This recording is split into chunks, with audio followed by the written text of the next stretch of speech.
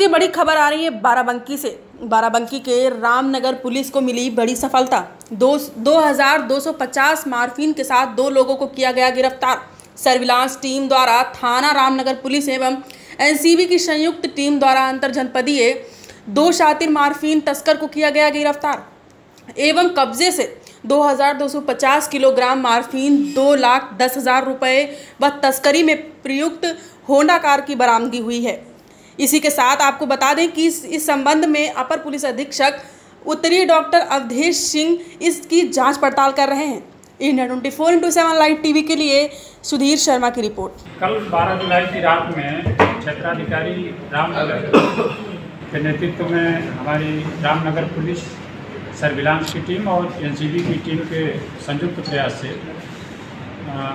ये जो अंतर जनपदीय एक गिरोह जो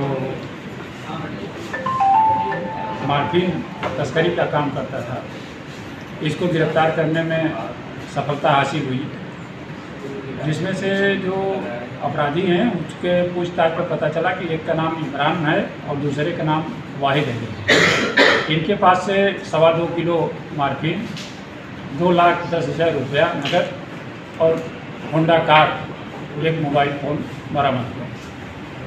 आगे इनसे जब पूछताछ और की गई तो इन्होंने बताया कि यह माल जो है, इसको हम गोंडा, बहराइच और बल्लालपुर में खपत करते थे।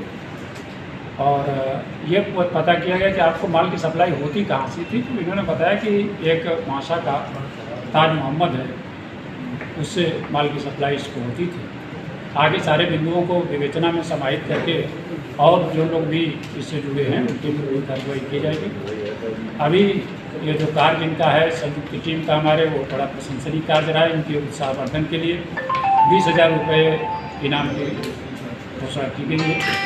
ये इनको प्रदान किया जाएगा और इनके कार्य की बहुत बहुत प्रशंसा की जाती है। उम्मीद की जाती है कि आगे भी इसी तरह से ये सफलता हासिल